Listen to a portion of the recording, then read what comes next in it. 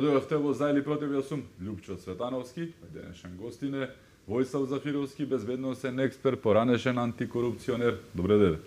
Добро ве најдов. Војслав двојазичноста дојде на демен ред конечно во Уставниот суд, откако Кацарска со години буквално кажано го ставаше под тепих. Време беше? Редно беше. Редно беше да се стави на дневен ред и тој закон, затоа што во правото постојат принципи, па може да се оспорува процедурата, може да се оспорува материјалната примена на одредени одредби. Во случајов е погрешена процедурата, но и суштински тој закон ја начнува унитарната позиција на Република Македонија. И редно беше Уставниот суд конечно да се произнесе и за ова прашање, како што предходно се произнесе за балансерот, и треба да ги извадат од фиока сите оние иницијативи за оценка на уставноста на бројни акти кои е, се поднесени од е, разни е, политички партии, поединци, здруженија и така натаму и така натаму. И треба политиката да ја исфрлат од Уставниот суд бидејќи не може да функционира правото во една држава ако првиот, најзначајниот суд во државата, Уставниот суд, внесува политика во своето работење.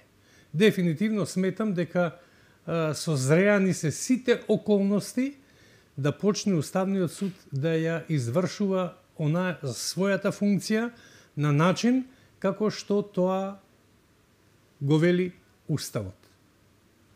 А, двојазичноста, односно законот за употреба на јазиците, популарно наречен закон за двојазичност, е буквално кажано еден нус ефект на едни буквално кажано повторно ќе кажам матни времиња кои што ни се случува од 17-та до 24-та година, односно до годинава до мај кога почна работите да се оправаат, се се направија многу нефер работи кон Македонија, македонците, кои што треба полека да, да се оправаат. Мислиш дека ќе почнат со ова, со двојазичноста, да, целиот процес на враќање на, на Македонија назад и на македонските вредности? Или? Јас сметам дека Уставниот суд треба конечно да се произнесе так, за тоа так. прашање и да ја презентира пред македонската јавност својата одлука.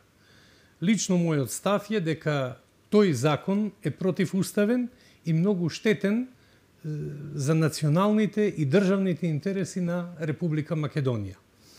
Од тука сметам дека тоа може да биде иницијална каписла за преоценка и на други а, прашања кои се отворени, кои се наоѓаат низ фјоките на Уставниот суд, но заради политичките еквилибристики на предходната власт не дојдоа на ред да Уставниот суд се произнесе по нив.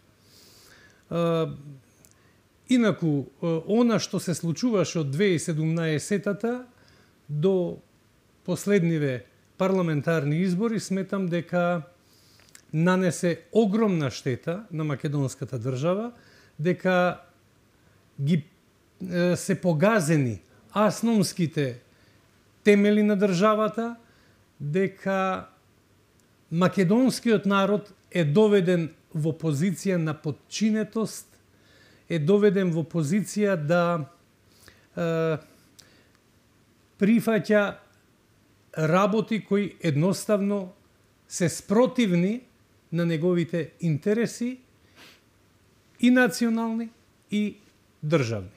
Како што беше и Преспанскиот договор, референдумот беше јасен показател дека граѓаните на Република Македонија не се согласуваат со промена на уставното име, но е, оние кои беа на власт направија се за да ја погазат волјата на граѓаните, по цена на тоа да донесат луѓе од притвор да гласаат, да уценуваат луѓе над кои виси дамокловиот меч или ќе одат на робија или ќе гласаат за промена на името. Конечно, таквите сцени треба да бидат минато, Но би сакал да видам актуелната власт да го отвори и прашањето на одговорноста на тие луѓе, затоа што без отварање на прашањето на одговорноста се остава простор во некое не знам, може би догледно време, повторно да ни се јават вакви зеленковци кои на државата ќе гледаат како на приватен посет и ќе прават буквално што сакаат. Една од алатките која што исто е веќе на тапет, буквално кажано, алатка повторно, како што кажа и ти самиот, за починување на македонскиот народ во основа на основното човеково право на еднаквост, се вика балансер, но не само што го имаме како балансер, туку е тотално, абсолютно злоупотребен во не стотици, аз верувам во илјадници случаи. 20.000 од албанска национално се вработени годиниве, но не е тоа проблемот. Проблемот е како се правеше сето тоа.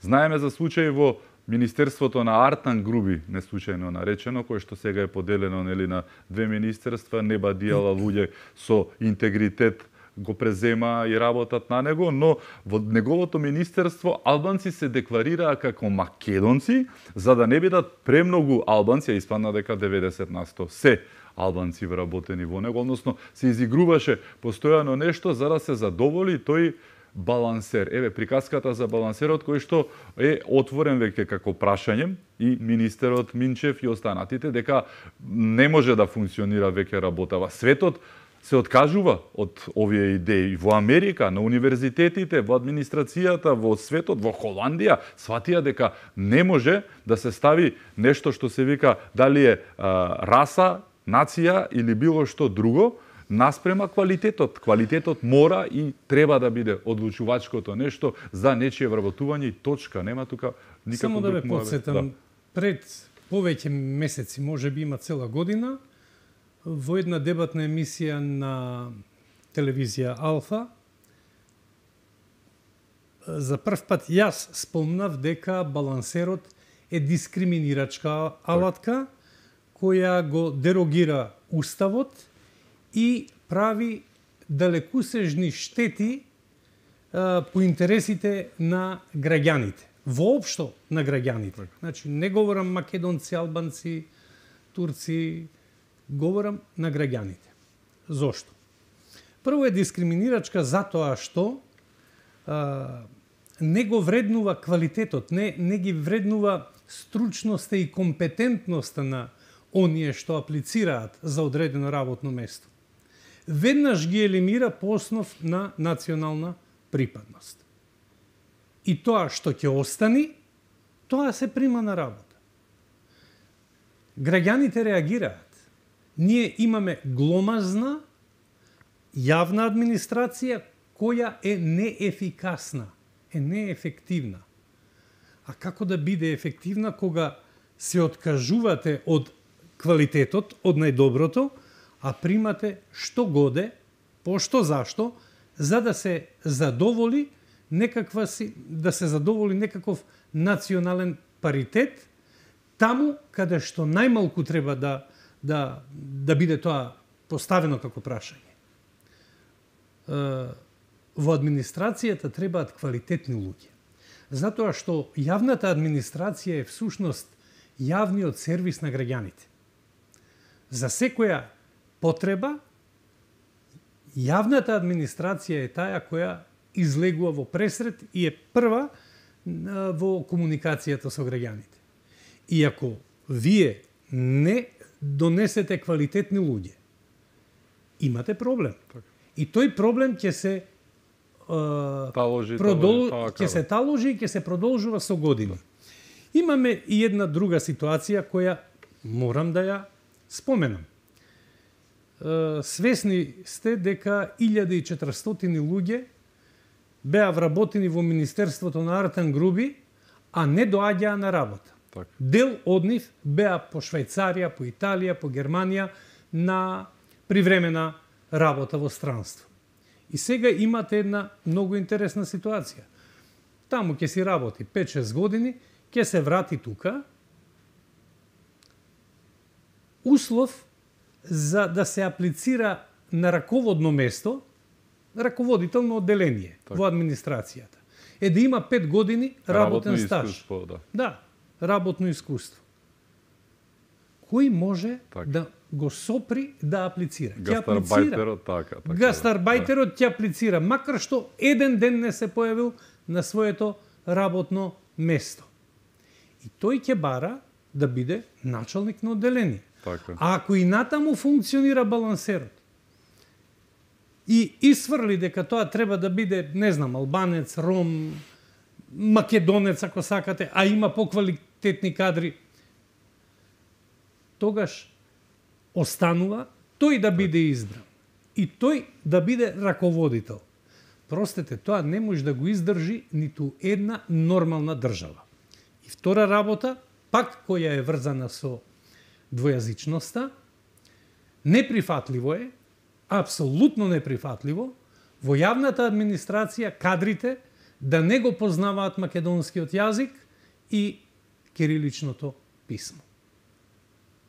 А имаме случај Има поштари кои што не знаат да читаат македонски, знам од прва рака. и И да пишуваат. Треба да носи пошта. И колегите нивни македонци им ги читаат или им ги пишуваат на латиница. Мислам, на вистина е премал.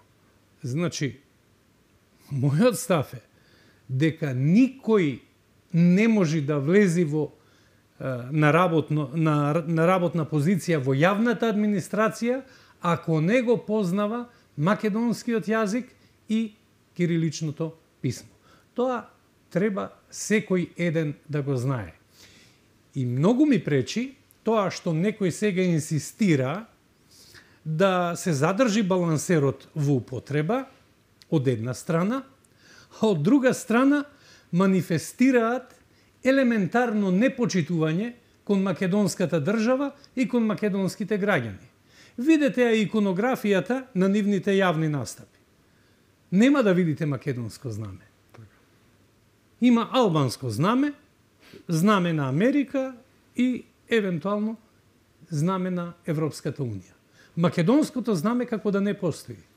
Еднаш за секогаш мора да се разбере дека знамето на Република Македонија е символ на сите граѓани во оваа држава. На сите граѓани.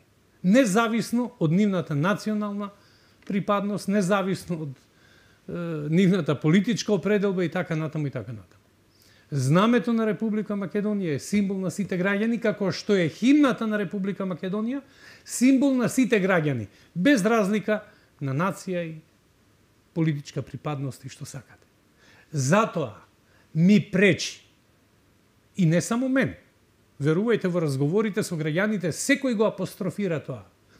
Ми пречи, кога ќе видам излегува некој бара од Република Македонија нешто, права, Так. а не станува збор за обврски и одговорности кон државата од која бара некакви поволности, нема символ, нема знаме, не ја пеат химната, дури и на официјални утакмици, што сметам дека е безобразлук. И тоа е политичко безобразие кое сметам дека еднаш треба отворено да се каже и да се побара, да се прекине со а, тоа играње со трпението и со нервите на сите граѓани во Република Македонија кои не се албанци. Кога сме ке политичкото безобразие, вчера посведочивме едно крајно вулгарно политичко безобразие. Зборуваме за албанската спикерка Спирополи, која што Елиса Спирополи дојде и кажа се што не треба. Мешањето во внатрешните работи на една држава, според не само Виенската конвенција, според многу работи, општа култура се вика работата, е тотално недозволиво вулгарно, дегутантно, како да го наречеме, нели, не смее да се прави тоа. Ни кажа се што не треба, ни кажа за балансерот, ни кажа за двојазичноста, ни кажа дека јазикот албански бил а, свет а, за нив, па и нашиот е за нас така, ние не велиме дека не треба да го зборуваат, не ова Грција каде што се криеле по и Да. се уште се кријат, нели? Ни кажа за сите работи, ни кажа дури за уставните измени кон Бугарија, кои што ги кочеле, верувале или не, нив Не е проблемно дека ние сме во пакет со нив, а знаеме зошто сме и да не се лажеме зошто Албанија не влегува во Европската унија и зошто ние не влегуваме во Европската унија, да не бидеме вулгарни и да кажеме така е, но знаеме сите, е сега сме во пакет че го правиме тоа што го правиме заради тоа што го правиме, заради некој што нели не спречува да влеземе таму, но еве дојде тука, кажа се што не треба и си замина буквално кажано. Првиот превод на Виенските конвенции так. За дипломатски и за конзуларни односи се моје дело. Так. Јас ги преведов и се трудев да бидат коректно напишани не само преведени лингвистички, туку да ја одразуваат и суштината и духот на идејата на оној што ги пишувал на времето. Од тука, стварно е политички, политичко безобразие однесувањето на спикерката на албанскиот парламент Спирополи, која си дозволи да држи лекции на една суверена држава, на една држава која држи до себе, која има своји институции кои се функционални, да држи предики за тоа што треба ние да правиме овдека. Се поставува сега едно прашање, што тие направија во однос на правата на македонското малцинство во Албанија? Кој што него ни заштитија прости на последниот Прво не го заштитија да. македонското национално малцинство во Албанија од е, бугарската пропаганда, од бугарските притисоци, туку едноставно ги прифатија резултатите онака како што беа наштимувани од страна на из, на пописните власти. Так. Тоа е едната работа. Втората работа многу ми пречи тоа што а, политичките партии на албанците во Република Македонија се некоректни во однос на превземањата на Република Албанија кон македонското национално малцинство. Едноставно, треба да се свесни дека Република Македонија е отворена и пружа се за добробит на сите граѓани во неа. И тоа соодветно да го бараат и од албанската држава кон македонското национално малцинство кое живее таму. Тоа никогаш не се случило. Така тие ги внесоа како бугарско малцинство на, насила по барање на Бугарија пред неколку години, иако никогаш немаше. Се случи ова и со пописот и јавно, јавна тајна Едмон Темелко беше кај мене кажа дека во одредени делови на Албанија дозволено е да има замисли македонско малцинство само во реонот на Мала Преспа. Да, во да. останатите да. делови каде не што ги, ги попишуваат. не ги попишуваат и тие да, трпат реперкусии понатаму ако се пишат како македонци, да. затоа се пишуваат како албанци, што не е фер после се што се случува кај нас и правата што ги милуваат и ги имаат, што треба да ги имаат, не велам не, но не е фер. Единствена, да, да каде што имаме нели училишта на македонски дел и сето тоа заедно со Србија, но не е, не е како што треба работи. Затоа велам, македонските а, политичките партии на так. албанците во Република Македонија треба да се гласноговорниците на барањата за права на македонското национално малцинство во Албанија. Так.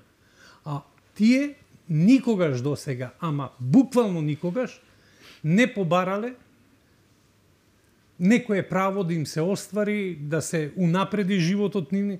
Сум бил во е, деловите каде што живеат македонци. Пука сиромаштија. Мислам, не можете да го споредите тоа што ќе го видите таму со оној другиот дел од Република Албанија. Каде што се инвестира, се е, отвараат индустријски капацитети и така натаму и така натаму, во делот кај што се македонците нема ништо. Се е конзервирано како во 50-тите години од минатиот век. Така. Кога сме кај соседската нели ни работа во Македонија и околината, неодминливи се секојаш бугарите. Денеска излезе Ангел Димитров, председателот на нивниот дел од комисијата, така наречена за историско-образовни прашања.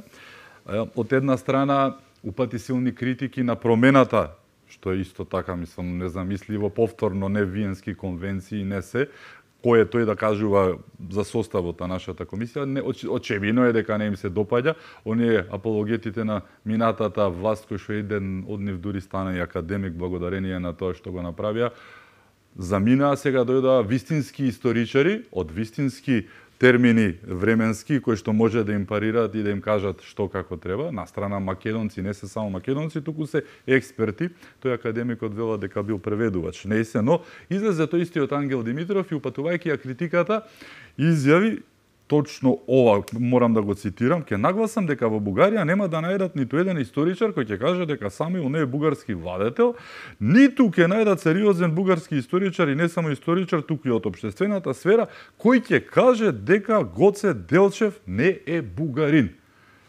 Војслав, што да. после ова? Зошто да а, преговараме? Па, нема да најдат историчар да. или обштественик кој ќе каже дека Гоце Делчев е бугарин, а учениците во нивните основни училишта не го познаваат ликот на Гоце Долчев. Имавме можност да видиме неколку секвенци так. од некој нивни квиз, каде што Гоце Долчев на, на голема фотографија излезен, децава прв пат гледаат кој е тој и се исчудуваат. А, јас се прашувам што последна ваква изјава. Така Зошто Но воопшто... не е ни прва и не е само не... од него, од сите го кажуваат да. тоа. Председател, премиер, Прашањето министр за надворешни. Зашто да. воопшто има да се так. разговара натаму? Да. Тука треба да се затвори темата. Така. Вие имате свој став, ние имаме свое гледиште. Ние сме македонци, ние сме Република Македонија, вие сте си бугари, толкувајте си ја историјата на начин како што вам ви одговара, Меѓутоа, немојте да засегате во она што е наше историско и културно минато. Да засегате во она што тука се случувало со векови наназад. Затоа што овој народ крв пролевал за она што денес го имаме. И во крајна линија, во антифашистичката борба, тоа не беше граѓанска војна во Република Македонија. Тоа беше борба на македонскиот народ, на македонските партизани за ослободување и национално обединување на македонскиот народ. И со ова приказката треба да се заврши. Мислам дека дегутантно е воопшто натаму после вакви изјави так. комисијата да се собира, да дебатира нити тие нас ке не убедат во нивните ставови, а верувам, еве, кажува Ангел, дека ниту нашите ќе успеат да ги убедат нив. Макар што, пак ќе повторам, нашите членови на Историската комисија, сега во овој состав, ново избраниот состав, се луѓе кои покриваат епохи по сите нишани. И тоа се експерти, вистински експерти, вистински конечно, експерти да. кои меѓу другото се и меѓународно признати. Так. Имаат земено учество на бројни меѓународни конгреси, симпозиуми каде што учествувале да. со своји трудови од периодот Можеш кој библиотека го покрива... да направиш од нивните дела, така јас дел од така ги познавам и така лично на вистина, тоа се историчари се со луѓе, тапија. Да. Така е. Така. Од една страна е тоа што го кажува Димитров, од друга страна имаме исто еден интересен куриозитет политички. Зборуваме за оној е, председател на крајно десничарската бугарска партија Преродба или Преображение, како беше на бугарски, а не ни бил ист јазикот не ние, Костадин Костадинов, човекот кој што излегуваше со табло, табли Македонија е бугарска во парламентот, значи неговата партија и сите кажуваат се што кажуваат, е истиот тој побара Европската унија и со јавен допис до собранието тоа да го прати до до Брисел, да го осудат говорот на македонските политичари бидејќи бил навредлив кон бугарските политичари, зборува за Александар Николовски и таа негова сосема нормална изјава која што каже отворено како се однесуваат кон Македонија и дека не може веќе така, нели, дека не е онаа другата влада, е сега ќе го тужакаат во Брисел и ќе бараат осуда за навредата кон бугарските политичари, човекот кој што велеше навреди цела нација, држава, а не па политичарите, нели, не зборуваме, кој што викаше дека Македонија е бугарски и стоеше со такво, е сега тој бара вакво нешто. Се сеќаваме сите на тој циркус во бугарскиот парламент кога излегува со такви плакати, со такви транспаренти, меѓутоа ова барање е надвор од памет, надвор од секоја логика. Зарем бугарските политичари сметаат дека Брисел не знае за корумпираноста на бугарската на бугарските власти, на бугарските политичари? Знаат.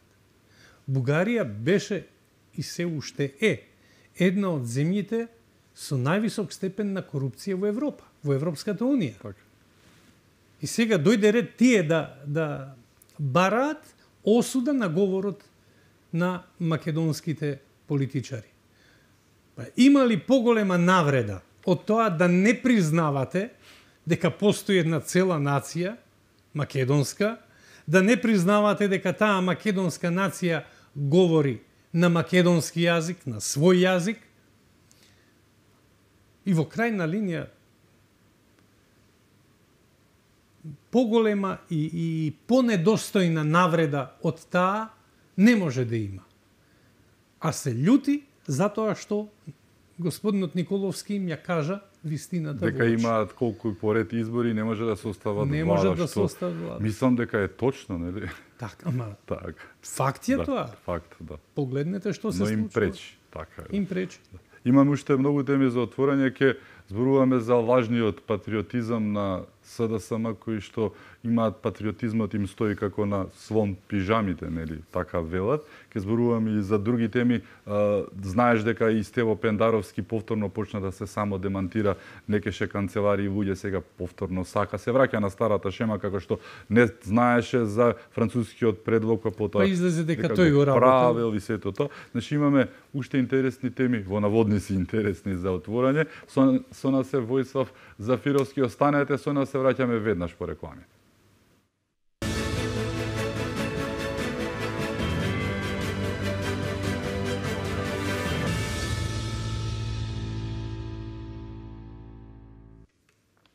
Се враќаме во за или против. Мој гостин е Војслав Зафировски. војсов една нова шема, буквално, или ново лице на СДСМ или СДС, некој вело дека тоа мато не им одговара баш во името. Сега стана под патриоти. Нивниот лидер и гуру и се уште мислам лидер во Сенка Заев, одамна кажа дека патриотизмот не им стои, другите пак велат дека им стои, но како на слон пижами, буквално кажано. Е сега наеднаш стана луѓе кои што се застапија и заложуваат за бранителите, верували. Не има 7 години да го среда тоа прашање, тогаш не им текна, но сега го извадија, па откако го извадија, она цаци што станува да ја види Сала, сега стана и за тоа и го извадија и ги снема некако повторно од радарот. Дефокус, дигресија, можеби дел од она дестабилизација најавена која што беше дел она во со црквата Света Петка во Галат е многу поврзано од исто дојденци кои што направија глупости за да нели етнички предизвикаат тензии, некој повторно реметели како гледаш на овој ненаден и не- недобростоечки наплив на патриотизам на СДС? Мислам дека СДС или СДС Да. се однесува не како слон во пижама, туку како слон во продавница за кристал. Елементарна човечка особина е срамот. Значи, треба човек да се срами од своите постапки. Особено ако со нив предизвика е, штетни последици. Дури и во психијатријата се вели дека за нормален се смета оној кој е ориентиран во времето и просторот и оној кој може да ги предвиди последиците од собственото однесување. Што очигледно не е случај со фронтмените или гласноговорниците на Социјалдемократскиот сојуз. Тие како да имаат амнезија, како да забораваат што се сторија на македонската држава и на македонските граѓани во периодот додека беа на власт. Такво однесување е апсолутно смешно и неприфатливо. Но очигледно е дека тие имаат намера и се во обид да ја дефокусираат јавноста од сите оние проекти кои ги превзема актуелната власт и кој почнува да ги реализира. Ова им беше начин или обид да направат раздор во актуелната так. коалиција на власт. Мислам дека нема да им успее. Премиерот Мицковски многу јасно и недвосмислено кажа дека доколку собранието го стави на дневен ред тој закон, ВМРО ДПМН ќе го подржи. И сметам дека македонската држава им го должи тоа на сите оние кои во периодот од 2001 до таму 13 август 2000 и втората така. се бореа за одбрана на Република Македонија. И тука не може да има и не смее да има знак на еднаквост помеѓу бранителите и припадниците на така наречената терористичка УЧК. Не може да има знак на еднаквост. Се поставува прашање а, кого и од што бранеа така. терористите? Кого и од што? И од кого воопшто? Така. Тие крена оружје, тргнаа против македонската држава, тргнаа против македонските граѓани пород и направија вооружен судир, во кој изгинаа и македонци, и албанци, изгинаа роми, изгинаа турци, изгинаа срби, изгинаа голем број родолюби. Тука не може да има знак на еднаквост.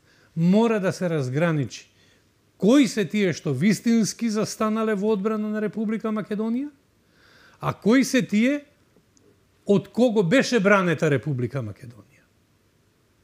И тука никогаш не може и не смее да има знак на еднаквост.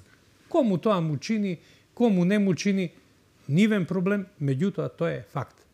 А дефинитивно, ова беше обид на СДСМ да направи раздор во актуелната коалиција Так, на и дефокус власт дефинитивно. и дефокус Така, од она што се случува. од она што се случува на секој план, така, на секој план во во Република држава. Македонија. Да. Што мислиш, што е следно, бидејќи како што тргна еве со патриотизмот, ќе побараат можеби слобода за уставобранителите од 27 април ќе излезе Цаци ќе окаже тој или некој друг?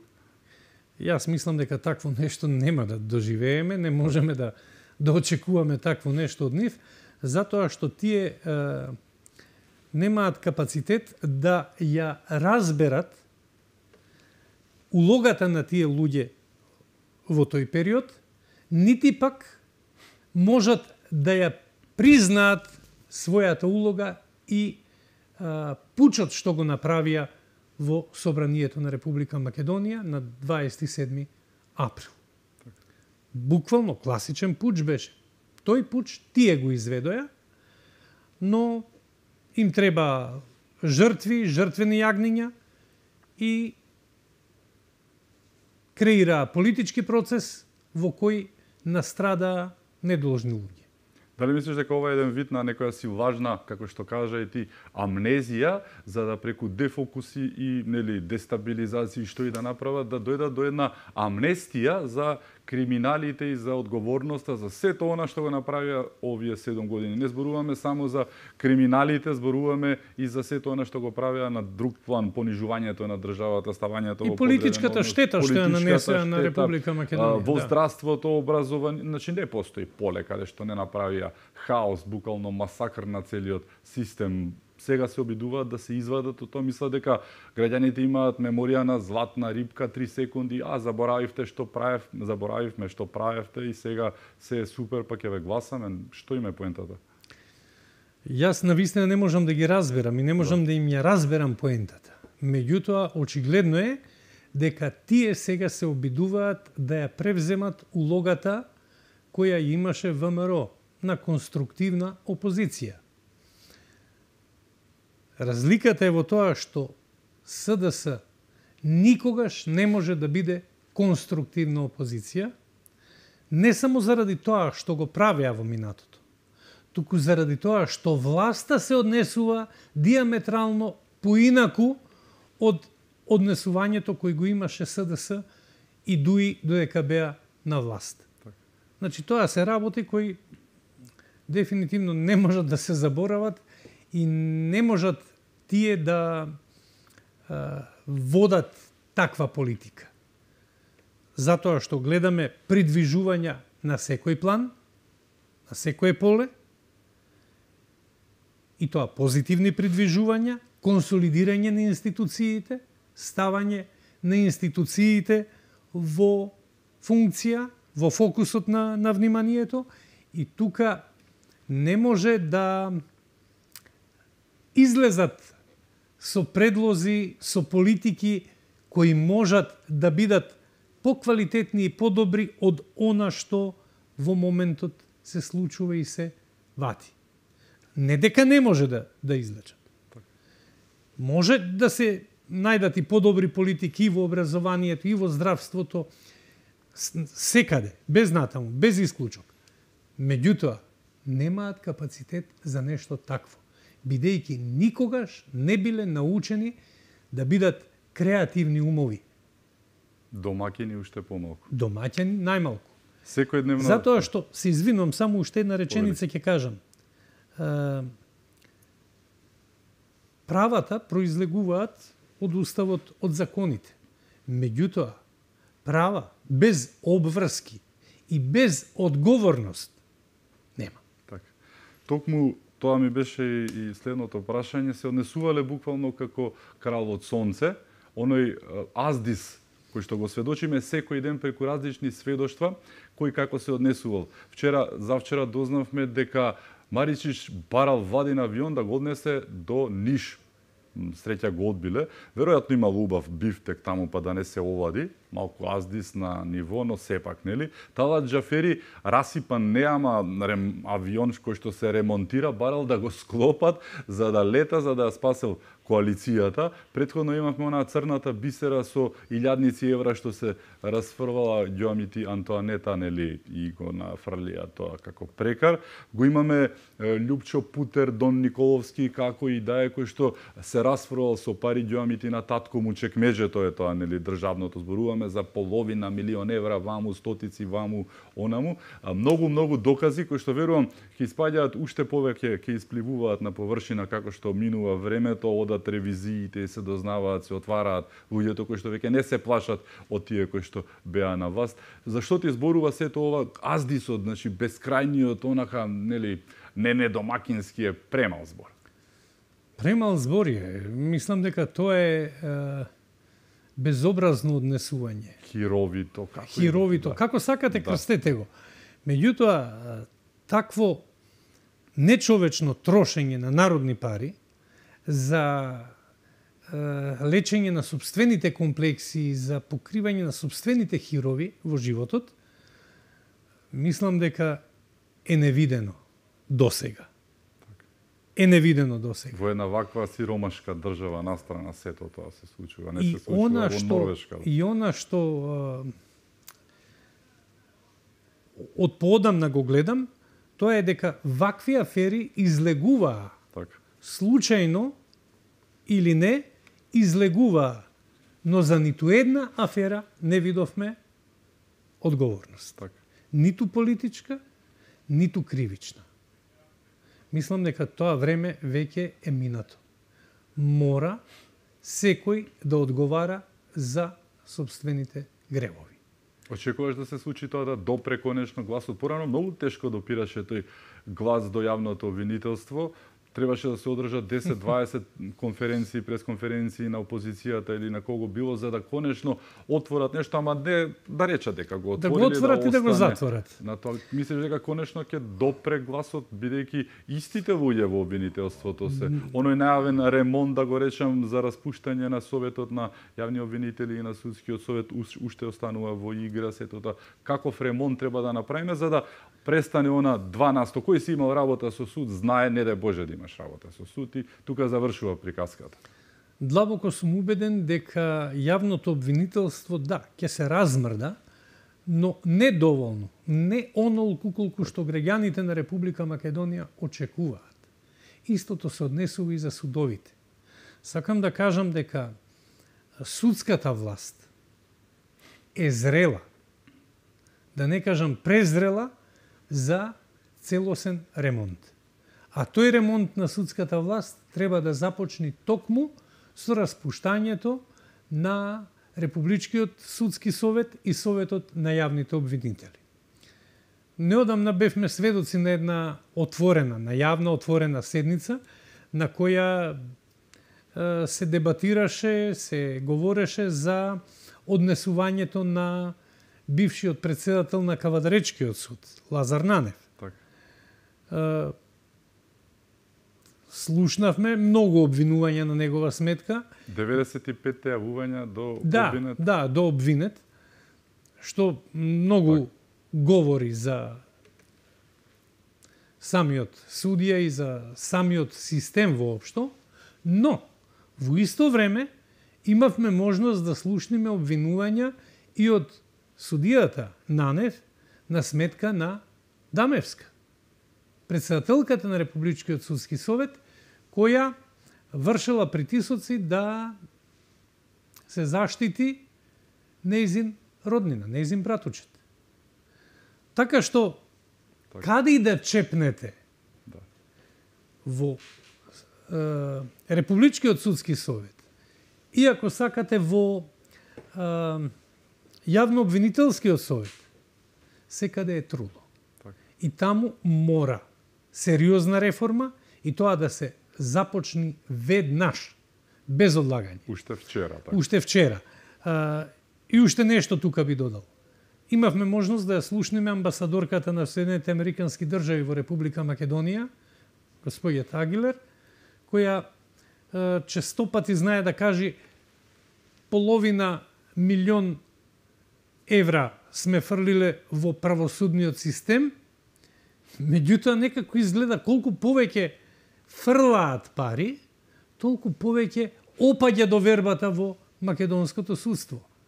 Нели е време да се прашаат зошто е тоа така и да се преиспитаат каде и кому ги даваат тие пари. Мислам дека е зрел зрело ова прашање да си го постават тие и да почнат да инвестираат, веќе ако сакаат да помогнат во вистински реформи, а не да се противат на идеите за распуштање на Републичкиот судски совет и на Советот на јавни обвинители во Република Македонија. Да, истото го праве и холандјаните, истото го праве и со медиумите и со многу други работи. Да. Дефинитивно треба да се преиспитаат Кому и зошто И ги даваат тие пари? и каде одат И каде понатаму одат, да. пари. Токму така. Ти благодарам што беше мој гост. Ми беше задоволство и времето летна како да што туку седнавме на разговор. Буквално кажано, да. Ти благодарам и беше чест. Исто и мене, благодарам. Ви благодарам и вам што бевте со нас, да сте ни живи и здрави и секако чувајте се многу.